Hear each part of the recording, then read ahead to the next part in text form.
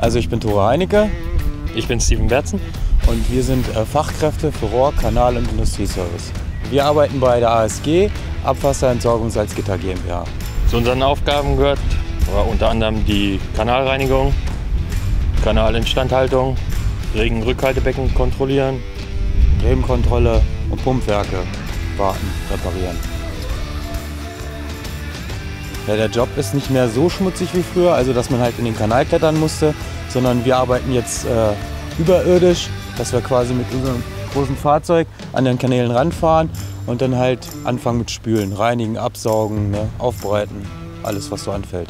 Wenn man bei uns mitarbeiten möchte, dann müsste man ein Teamplayer sein, also ne, teamfähig sein. Ähm, auf jeden Fall Aufmerksamkeit ist auch wichtig wegen der Sicherheit. Ein bisschen belastbar. Ich würde sagen, es ist ein vielseitiger Beruf. Man erlebt jeden Tag was anderes. Unsere Arbeitszeit sind als Gleitzeit geregelt und das ist halt praktisch. Ne? Man kann viel besser planen. Hobbys kommen dabei auch nicht zu kurz. Ne? Also man kann halt viel unternehmen noch.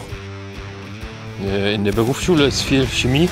Es gibt noch Maschinengerätetechnik, wie man die Maschinen bedient, Verfahrenstechnik. Unser Team, das ist richtig motiviert. Ne? sind viele Leute dabei, viele unterschiedliche auch, ne? Aber irgendwie kommen wir immer alle zusammen und zum Schluss wird halt auch immer gern mal gelacht und ein Witz erzählt. Ne? Macht halt Spaß mit den Jungs. Macht euch die Arbeit Spaß? Nee. nee. Helft uns, bitte, wir sind gefangen.